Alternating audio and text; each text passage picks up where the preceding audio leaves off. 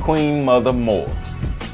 Audley Moore was the daughter of parents Ella and St. Croix Moore, who were the children of former slaves. Moore's grandmother Noah Henry was born into slavery, the product of her mother being raped by her in slavery. Moore's grandfather was lynched, leaving her grandmother to raise five children on her own. Audley Moore was born on July 27, 1898 in New Iberia, Louisiana, where both of her parents would die before she graduated the fourth grade. She would become her family's primary caretaker as she learned how to become a hairdresser by the age of 15. In 1918, she was working as a volunteer nurse in the midst of an influenza outbreak.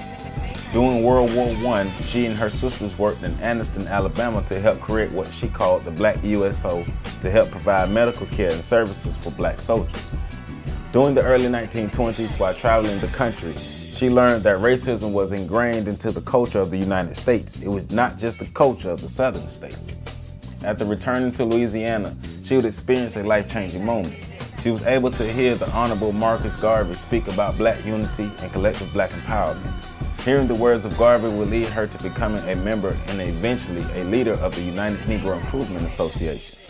Moore, along with her husband and sisters, would move to Harlem, New York during the early 1920s. This is when she became active in the civil rights movement of the time. Despite repeated arrests, she organized the fought for domestic workers in the Bronx and helped black tenants fight against their white slumlords.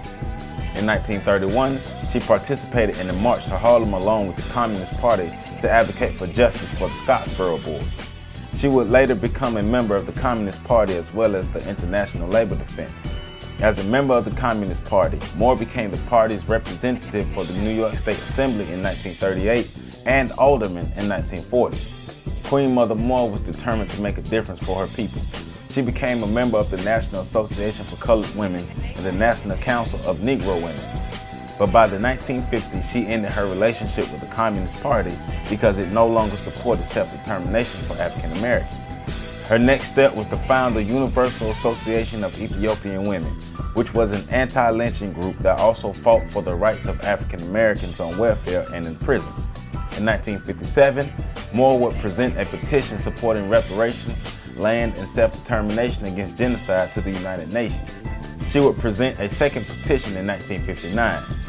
In her petition, she asked for a monetary sum of $200 billion and a returning of any African people who wanted to return to the continent. In 1963, she would form the Reparations Committee of Descendants of U.S. slaves to further her demands for reparations. She would publish her analysis of reparations titled Why Reparations?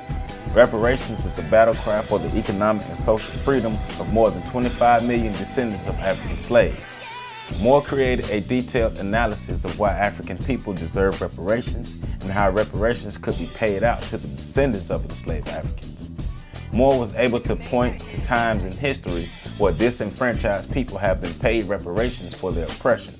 She was even able to provide information proving that the United States paid reparations to Japanese Americans for their mistreatment. Queen Mother Moore is most known for her international fight for reparations for African people.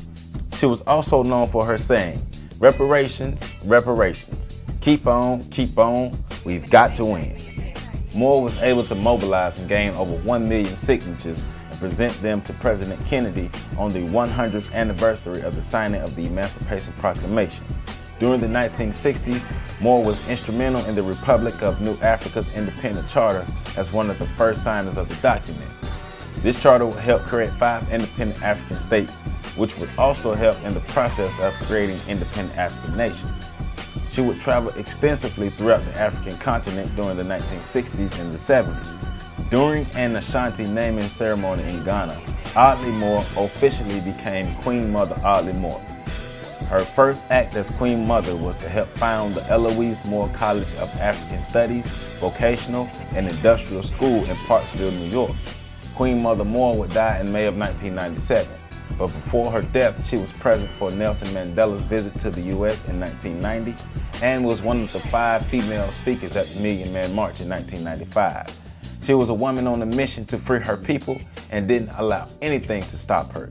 She spent the remainder of her adult life fighting for the reparations and the rights of African people. Queen Mother Audley Moore, we proudly, proudly stand on your shoulders. For more information, please visit www.ontheshoulders1.com. That is on the shoulders, the number one.com.